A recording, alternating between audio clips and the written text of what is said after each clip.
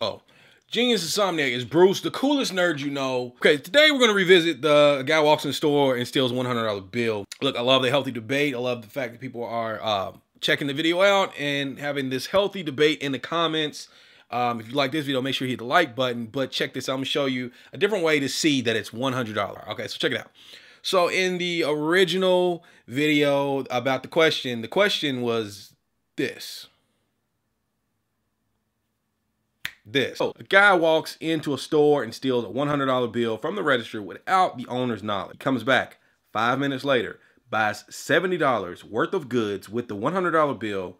The owner gives him $30 in change.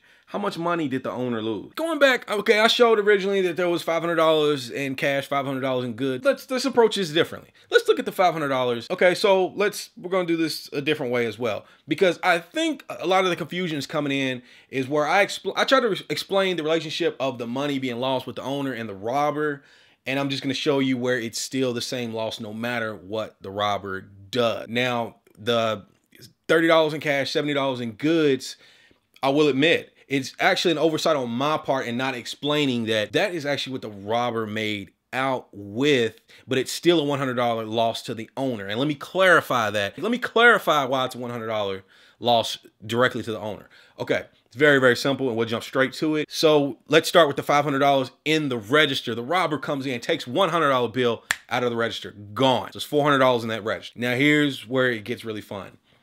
Let's say the robber never comes back in again, ever goes out, goes into a black hole. And by the way, I have video explaining what black holes are, but check this out. So he goes into a black hole. The next guy comes in the store, buys $70 worth of goods with a $100 bill, and we give him $30 and change back. Our register looks exactly the same as the end of the last video. It's $470 in the register now, and our goods go down $70 because we have the money for that. So, so what I'm showing you here is after the robber initially steals the $100, it's actually of no consequence to what he does afterwards.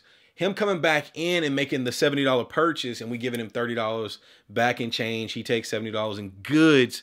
Was I was trying to show the relationship between this guy and the owner and I probably should have clarified better that that's actually showing what the robber made out of at the end of all these transactions. Well, we could have just stopped right there because as you see with someone else walking in, it's still the register is going to show the same loss. And the reason why it shows a loss and the owner doesn't show a $30 loss is because of this. When the owner makes the transaction, there should be $500 in the register at the time of the transaction. When he got $100 for the goods, it should be $600. When he gives $30 in change, it should be $570. So when he counts his money and says, wait, I have $470, then he knows, wait a minute, I had $500. I made a $70 sale. That $70 sale should be reflected in the drawer.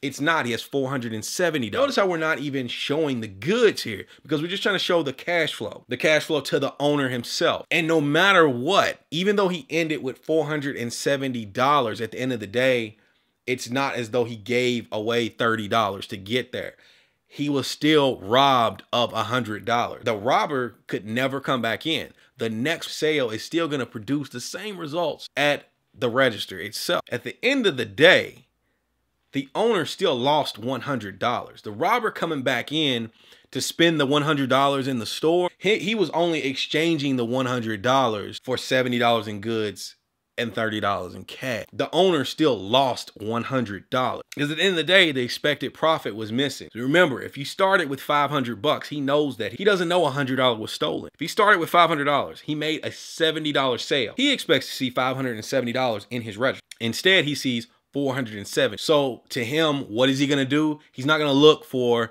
$30 missing because he knows he made a $70 sale. He's going to say, hey, there should be another $100 somewhere. Did I drop it on the floor? Is it underneath the register? He's going to be missing $100 and he's going to look for $100. He's not going to look for $30. So maybe it would have been best for me to leave that part off the video and just show you that once that money was stolen, the money was stolen. It was gone. Whether he used it in the store or if he used it Pizza Hut up the street, that $100 is missing from the register. No matter the future transactions, the register will be $100 short at the end of the day. So going back to my original video, the owner lost $100. The sale afterwards is inconsequential to the actual loss of $100 before the sale because the robber could have come back and spent that money or he could have left and someone else could have came in and spent that money. End of the day, the register is still short, owner still lost $100, period. So, once again, if you like any of all this video, make sure you hit the thumbs up button. Subscribe to the channel for more videos.